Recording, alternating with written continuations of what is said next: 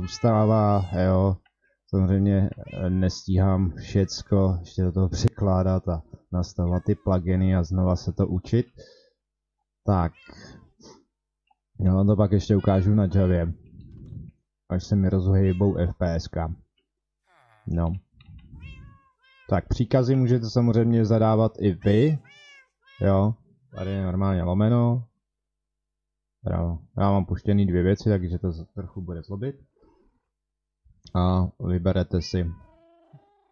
Takže, pokud chcete mít svůj pozemek, vám taky ukážu.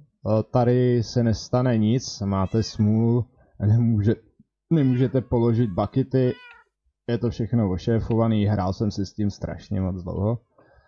Může se stát, že se něco někde, jo, tady jsou právě ty, já jim říkám loci,